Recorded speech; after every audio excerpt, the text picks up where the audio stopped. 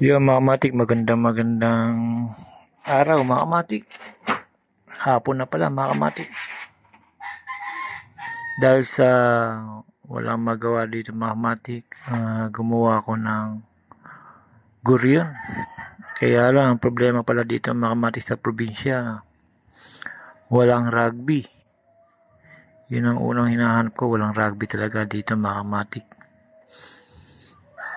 Kaya nakatambay lang tong ginawa kong dibuan.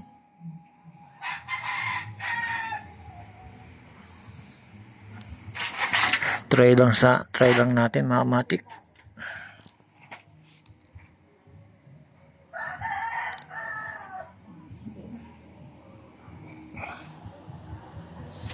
Sa ngayon mga matik wala pang ano, hindi pa natin makokoberan.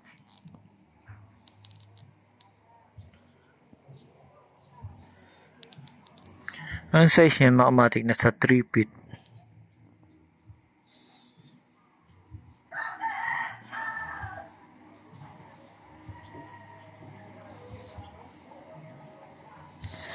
Ngayon kanina mga matik, pumunta ako sa bayan-bayan noon, mga matik talagang wala. Kailangan talaga to sa Sorsogon pa bibili ng rugby.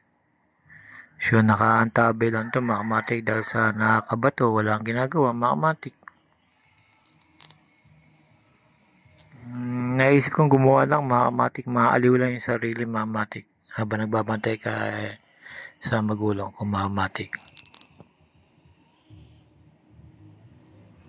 Binabantayan ko kasi yung tatay ko mga matik.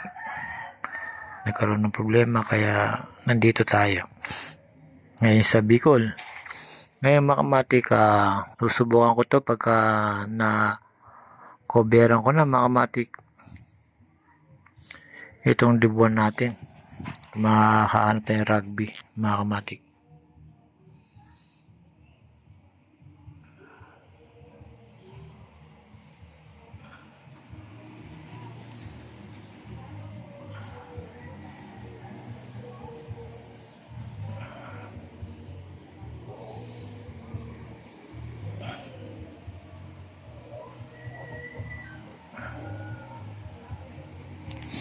Kaya dito mga matik, ang ginamit ko ano, mga matik na kawayan.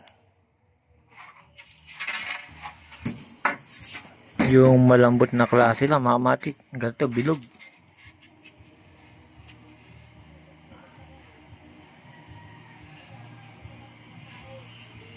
Ila lang ginamit ko mga matik.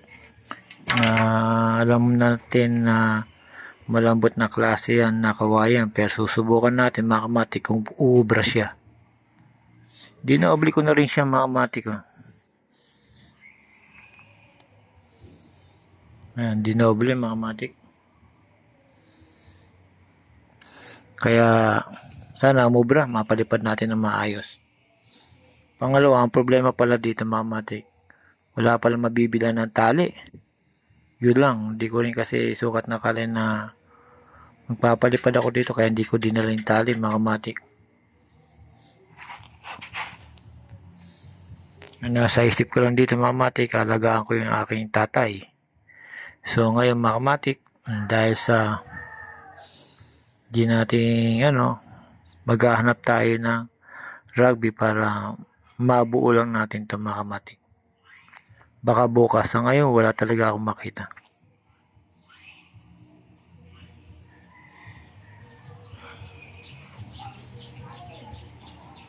Yung mga matik hanggang dito na lang mga matik, pinasili po lang siya at pinakita kung anong ginawa ko. Nag-trip lang ako mga matik na gumawa ng guryon dito mga matik sa Bicol mga matik. Although na hindi na uso dito pero papalipad pa ako mga matik dahil sa malakas ang hangin.